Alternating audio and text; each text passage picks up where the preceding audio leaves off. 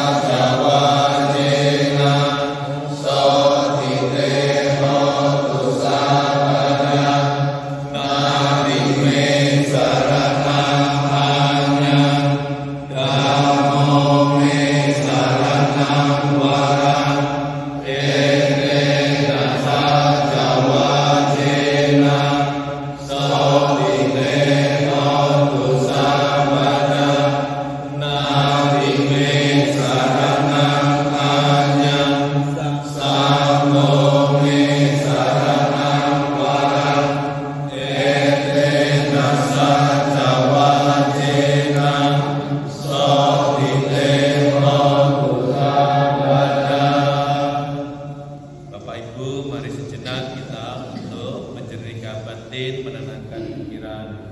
Dengan mengingat kesempurnaan yang telah dicapai yang telah sempurna sang Buddha meditasi kita lanjutkan.